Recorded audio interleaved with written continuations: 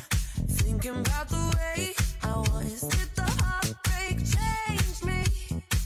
Maybe, but look at where I ended up.